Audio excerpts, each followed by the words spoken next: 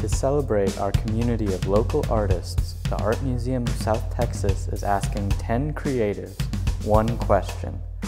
What 10 tools do you use to make blank?